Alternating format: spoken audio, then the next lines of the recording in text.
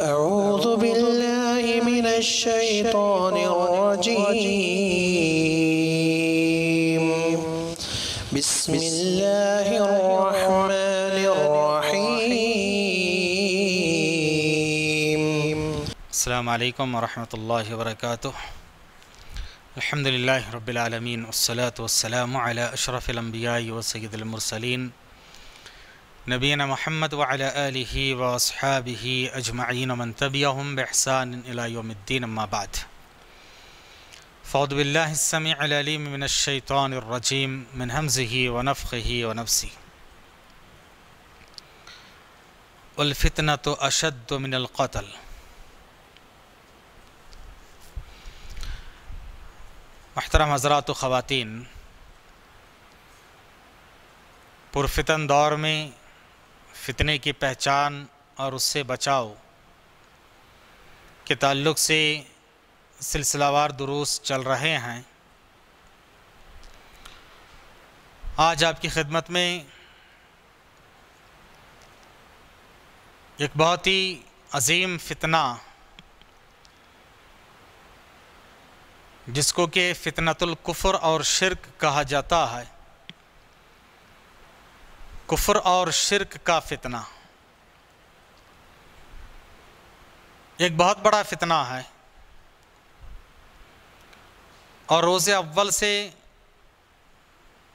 तौहीद के साथ शिरक का टकराव, कुफर के साथ ईमान का टकराव फितने की शक्ल में चले आ रहा है और ये सिलसिला चलता रहेगा।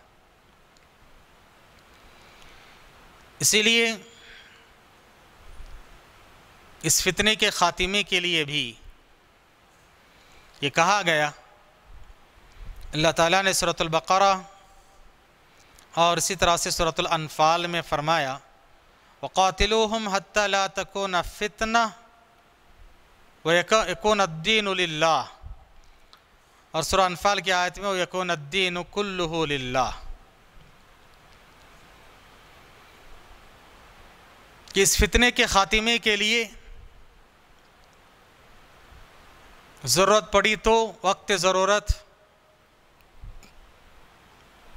लड़ने की नौबत आए तो भी लड़ो, ताकि इस फितने का ख़ात्मा हो। और दीन इस्लाम सारा का सारा अल्लाह के लिए खालिस हो जाए। तो इसको फितना करार दिया गया, इससे मुराद कुफर व शिरक का फितना। और अभी मैंने आपके सामने खुतबा मसोना के बाद जो आयत पढ़ी है वलफ़ितना तो अशद और एक आयत में अकबर मिनल कत्ल कहा कि फितना ये कत्ल से बढ़कर है। तो इससे भी अहल इल्म ने शिरक और कुफर का फितना मुराद लिया है। कुफर और शिरक क्या है? कुफर इनकार करना इस्तेजा करना, मज़ाक उड़ाना, शक करना या दिल में निफाक रखने को कहा जाता है।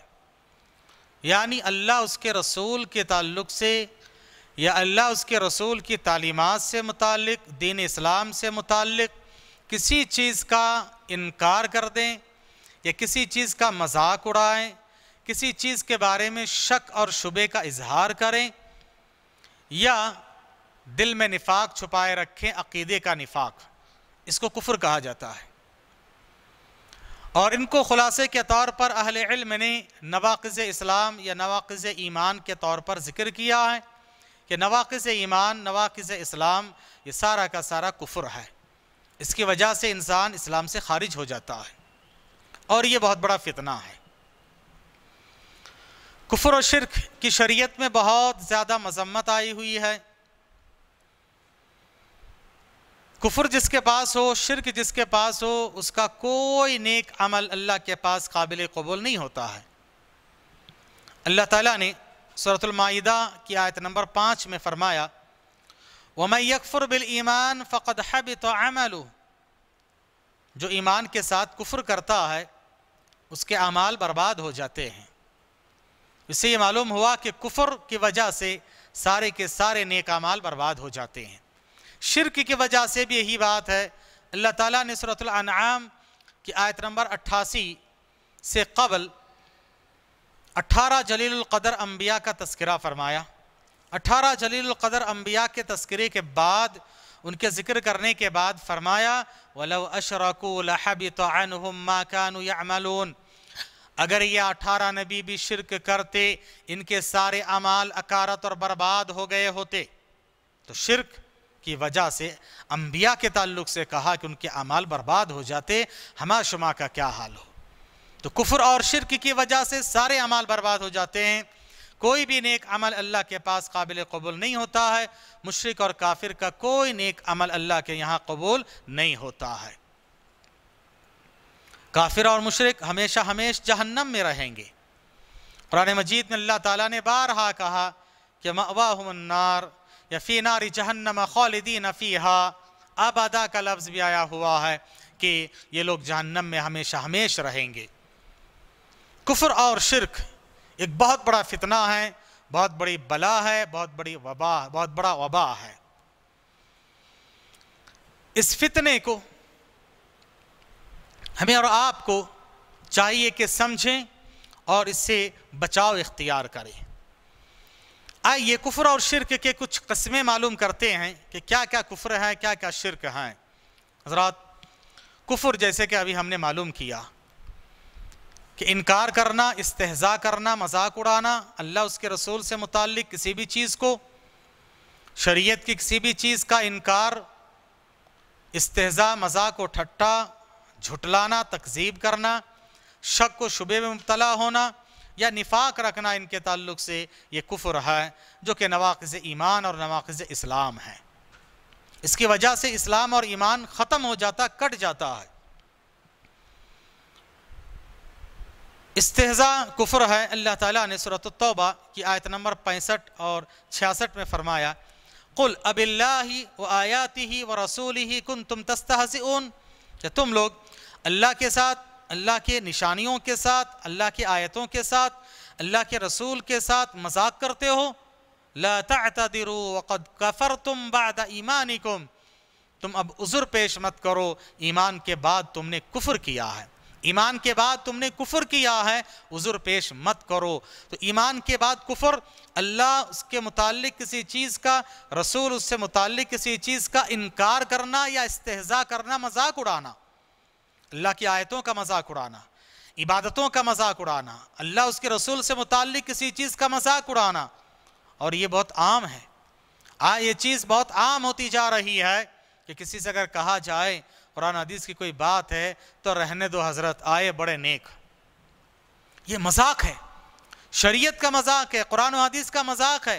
अगर इस तरह का कोई मज़ाक करता है, गुरूर और तकबर में इनकार करता है ठट्टा करता है, तकजीब करता है, इंसल्ट करता है, इनकार कर देता है, ये कुफर है। और आज ये चीज़ बहुत सारे लोगों में अजाने अनजाने में पाया जाता है। कुरान हदीस की बात पेश की जाए तो उसको बहुत ही अजीब इस्तेजा के अंदाज में लेते हैं। बहुत सारे लोग हदीस का मज़ाक उड़ाते हुए ये कहते हैं, अहले हदीस को नौजबिल्ला क्या कहते हैं? अहले खबीस। तो हदीस को आपने मज़ाक उड़ा दिया। तो कहीं अनजाने में हमारे से, हमारे ज़रिए से कुफर हो रहा है और हमें पता भी नहीं है। अल्लाह हिफाजत फरमाए, ये बहुत बड़ा फितना है ये। बहुत बड़ा फितना है ये। आज कितने लोग हैं जो अगर दुनियावी एतवार से कुछ हासिल कर लेते हैं, वहदा मनसब या रुपया, पैसा, धन, दौलत, या कोई दुनियावी एतवार से कुछ पढ़ लेते हैं अब क्या करते हैं शरीयत के किसी चीज़ का मज़ाक उड़ाना शुरू करते हैं? ये रोज़ा, ये क्या है भूखा रहकर? क्या ज़रूरत है? मज़ाक उड़ाते हैं नौजबिल्ला कुफर है। नमाज़ क्या मिलेगा इसमें? इस तरह कहना कुफर है। शरीयत ने जिन चीज़ों को हराम किया, उनको हराम ना जानना। शराब हराम क्या? नहीं, ये कुछ नहीं है। और उसको हलाल समझ के इस्तेमाल करना, ये शरीयत का इनकार है, कुफर है। आज कुफर का फितना बढ़ते जा रहा है और ये आहिस्ता आहिस्ता मुसलमानों में इर्तदाद का फितना आम हो रहा है कि मुर्तद होते जा रहे हैं, दीन इस्लाम से फिर जा रहे हैं। अनजाने में भी, जाने, जानबूझकर भी इनकार हो रहा है ये कुफर है तो इस्तेजा शरीयत का मज़ाक उड़ाना, तकजीब करना ठट्टा करना, या गुरूर तकबर में उसका इनकार कर देना, ये कुफर है। ये बहुत बड़ा फितना है। इसी तरह से शिरक। शिरक क्या है? शिरक देखिए, अल्लाह ताला के जो हुकूक है, वो गैरुल्लाह को दे देना शिरक है। शिरक के माने पार्टनर बनाना, कुफर के माने इनकार करना, इस्तेजा करना झुटलाना और शिरक के माने पार्टनर बनाना, एसोसिएट करना, शरीक बनाना, हिस्सेदार बनाना, यानी अल्लाह के हुकूक किसी और को दे देना। अल्लाह के हुकूक क्या क्या हैं? अल्लाह के हुकूक में से अल्लाह की इबादत हैं। ज़ाहिरी बातिनी जो इबादत हैं। हम नमाज़ में जो काम करते हैं, सबसे पहले नीयत करना, रुकू करना, सजदा करना, दुआएँ करना, फरियाद करना, तवाफ करना, नज़र न्याज करना, कुर्बानी करना जबा करना तवक्ल करना, भरोसा करना, खौफ खाना, गैर फितरी तरीके से खौफ खाना, मोहब्बत रखना। अल्लाह से जैसे रखना चाहिए। ये सारी चीज़ें इबादत हैं, इनको सिर्फ़ अल्लाह के लिए करना है। गैरुल्लाह के लिए इनमें से किसी एक चीज़ को करें। हजर हो, शजर हो, कबर हो, ज़िंदा हो, मुर्दा हो अलिया हो अम्बिया हो सिद्दीन हो, शहदा हो, सालहीन हो, अतकिया हो या फरिश्ते हो, जिन्नात हो, किसी और के लिए अल्लाह के ये हकूक़ दे देना ये शिरक है। और ये बहुत बड़ा फितना है। इसी तरह से नेक लोगों की शान में गुलू करना। देखिए शख्सियत पसंदी इस्लाम में है कि कोई इंसान पसंद आए, लेकिन शख्सियत परस्ती नहीं होना चाहिए। कोई शख्सियत पसंद आ जाए, उनकी मोहब्बत में गुलू करते करते उनकी इबादत करने लग जाएँ, ये शिरक है। और इस उम्मत में सबसे पहला शिरक जो पाया गया, वो गुलू फिसालहीन नेक लोगों की शान में गुलू करना। उनको अल्लाह का मुकाम, नबी का मुकाम दे देना। उनके पैर चूमना, कदम बोसी करना, तवाफ करना, नज़र नियाज करना, उनसे उनसे फरियाद करना, नफा नुकसान के मालिक समझना, उनको पुकारना, ज़िंदा हो या मुर्दा, नेक लोगों की शान में गुलू, ये एक बहुत बड़ा फितना है, ये शिरक है। तफसीलात में मैं जा नहीं सकता हूँ, वक्त ना काफ़ी है, कि नेक लोगों की शान में कैसे कैसे गुलू करते हैं, कि नेक लोगों को या अपने अपने मज़हब के एतबार से जो पेशवा है उनको, अल्लाह का मकाम दे दिया जाता है, ये शिरक है। इसी तरह से कब्र परस्ती, शिरक है। कब्रों से मांगना, फरियाद करना, वहाँ जाके उनसे मुरादें मांगना, उनने, उनसे उम्मीदें रखना। नबी ने लानत फरमाई कि लानसारा इतखद कबूर अम्बिया मसाजिद। यहूद नसारा अपने अम्बिया के कब्रों को मसाजिद बना लिए तो लानत आ गई। आज तो उम्मत मुस्लिमा पता नहीं कैसे कैसे की कब्रों को इबादतगाह बना रहे हैं। इसी तरह से आसार परस्ती, यानी हजर, शजर, दरख्त, या किसी चीज़ को पत्थर हो, या कोई घर हो, किसी चीज़ को जो शरीयत में साबित शुदा ना हो, ऐसी चीज़ों को मुतबर्रक समझना, तबर्रुक का ज़रिया समझना, ये शिरक है। किसी दरख्त को किसी के मकान को, किसी के कब्र को, किसी पत्थर को। याद रखिए हजर असवद के अलावा किसी और को मुतबर्रक समझना। काबे के अलावा किसी और को मुतबर्रक समझना, ये शिरक है। अम्बिया के अलावा किसी के ज़ात से तबर्रुक हासिल करना, ये शिरक है। सितारे और सैारा परस्ती या उनसे तासीर मानना, शिरक है। फुला सितारा तुलू हुआ तो बारिश होगी। आप सल्लल्लाहु अलैहि वसल्लम सफ़र में थे, कुछ लोगों ने इसे कहा कि नबी ने फरमाया, वो लोग काफिर हो गए, मुशरक हो गए। आज बहुत सारे लोग बोलचाल में ये कहते फला का स्टार वाला अच्छा था। फला का सितारा चमकदार है, वो बच गया, सितारा बहुत अच्छा था। कोई नुकसान में है तो इसका स्टार बराबर नहीं चल रहा है। ये शिरकिया जुमला है, स्टार में सितारों में तासीर मानना मानना। इसी तरह से बहुत सारे लोग निकाह के रुके वगैरह में लिखते हैं, फला के दुख्तर नेक अख्तर। ये अख्तर एक सितारे का नाम है। यानी फला की बेटी जिसका सितारा बड़ा नेक है ये शिरकिया जुमला है। याद रखिए, इस तरह की बातों से हमें परहेज करना चाहिए। शिरक की बहुत सारी किस्में हैं। शिरक में मुबतला हो जाना। याद रखिए मेरे भाइयों, ये सारे के सारे शिरक में दाखिल हैं। इसी तरह से बहुत सारे अखबार में सितारों का खेल आता है। मुसलमान भी पढ़ते हैं। अखबार में सितारों के बारे में आता है। आज फला सितारा है तो ऐसा होगा, वैसा होगा। तकदीर बताते नाम के साथ, पहले लफ्ज़ के साथ। ये सब शिर विदात खुराफात हैं। इसी तरह से गैब दानी का दावा करना। किसी को गायब, जानने वाला तस्वुर करना, इंसान हो या जानवर हो तो तो महीने से मालूम करते हैं। हाथ के लकीर देखकर मालूम करते हैं, या ज़मीन में लकीर खींच के मालूम करते हैं। गायब, दानी का दावा करना, या किसी आमिल व कामिल के पास जाकर गायब की बातें मालूम करने की कोशिश करना, उनकी तस्दीक करना, वो बताएँ तो मनाएँ घर, नहीं तो ना बनाए। वो बताए तो घर खरीदे तो नहीं, वास्तु देखना, वास्तु मालूम करना, उनके पास जाकर। आमिल कामिल का फितना गैब दानी का दावा गैब किसी और को जानने वाला तस्वुर करना, ये सारे के सारे शिरक में दाखिल है।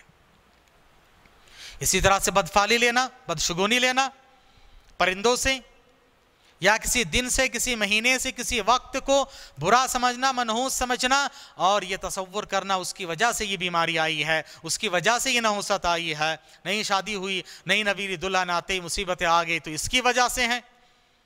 या दामाद की वजह से हैं। तो इस तरह का तस्वुर रखना, बदफाली लेना, नेक फाली लेना जायज़ है, लेकिन बदफाली लेना, बदशगुली लेना ये शिरक है। तावीज़ लटकाना, तोगरे लटकाना, या किसी भी चीज़ को जिसम में, घर और दुकान और मकान में, कार में, बंगलों में लटका लेना लींबू हो, फटकरी हो, या काली डोरी हो, या किसी और चीज़ को लटका लेना, तावीज़, तुगरे, पलीते, गेंडे, ये सब के सब शिरक में दाखिल है। नबी ने साफ़ फरमाया कि मन अल्लाह तमीमतन फ़कद अशरक जिसने तावीज़ लटकाई, उसने शिरक किया। इसी तरह से गैरुल्लाह की कसम खाना, मन हलफ बगैर फ़कत अशरक उसने शिरक किया है। रियाकारी दिखावा, ये शिरक में दाखिल है। गर्ज, अल्लाह के जो हकूक़ है, अल्लाह के जो असमा और सिफ़ात हो, इबादत और उलोहियत हो, अल्लाह की रबूबियत के जो बात हैं, काम है, उनमें किसी और को शरीक करना, ये गोया के शिरक अकबर में दाखिल हैं और ये बहुत बड़ा फितना है। अल्लाह ताला से दुआ है कि अल्लाह ताला हमें इस फितने से बचाए और हम इस फितने से कैसे बच सकते हैं? अल्लाह पर मुकम्मल ईमान, तोहीद कामिल, मुकम्मल तोहीद परस बन जाए, मुकम्मल ईमानदार बन जाए। ये कुफर की जिद है ईमान और तोहीद ये शिरक की जिद है। तोहीद को अपनाए। हर तरह की इबादत बंदगियों को अल्लाह के लिए खालिज करें। अल्लाह के हकूक़ को अल्लाह को ही दे, किसी और को ना दे, यही तोहद है। दुआ रबालमीन से अल्लाह ताली से, अल्लाह ताली हमें और आपको शिरक बिदात और खुरफराफात और कुफर से बचाएँ। आमीन वाखुरदावा अलहमदिल्ला रब्बिल